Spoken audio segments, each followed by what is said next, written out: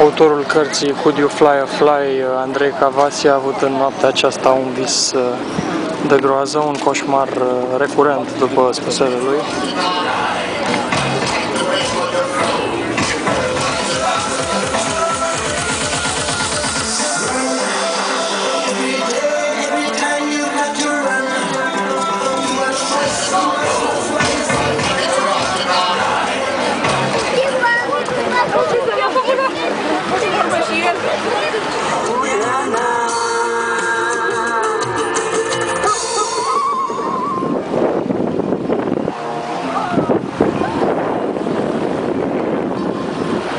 Stimați telespectatori, stațiunea e plină la ora asta. Oamenii mișină pe străzi fericiți spre plajă.